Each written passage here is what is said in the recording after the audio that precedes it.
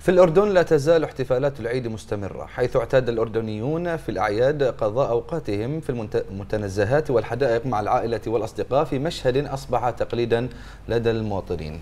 عيد الأضحى في العاصمة عمان شهد إقبالا كبيرا لمحبي المتنزهات خلال أيام العيد.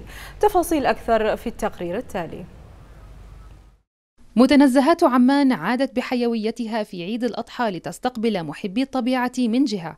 ومن جهة أخرى اكتظت مدن الألعاب بالأطفال ابتهاجا لقضاء أوقات عائلية اعتاد الأردنيون عليها في مثل هذا الوقت من العام.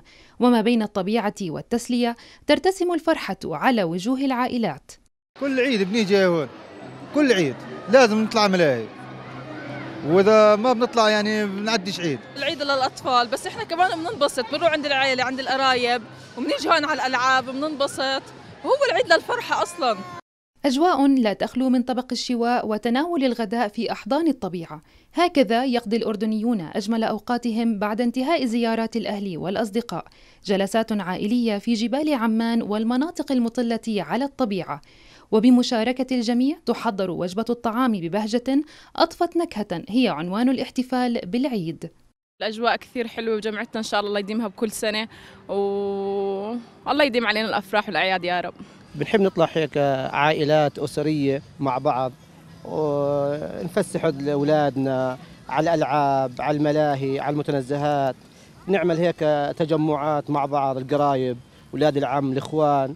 ونشوي ونفرح ونضحك ونتسامر مع بعض إن شاء الله. مشهد هو الأبرز في عيد الأضحى. متنزهات تحتضن زائريها بترحيب افتقده الأردنيون في سنوات كورونا. واليوم يعود لرسم لوحة فنية جمعت الطبيعة ومحبيها في إطار واحد. فرحة العيد لا تكتمل دون تجمع العائلة في الهواء الطلق. وسط أجواء يملأها الغناء والفرح. تقليد لطالما اعتاد الأردنيون على عيش أجوائه بنكهة الطبيعة. آية السيد تلفزيون البحرين. عمان.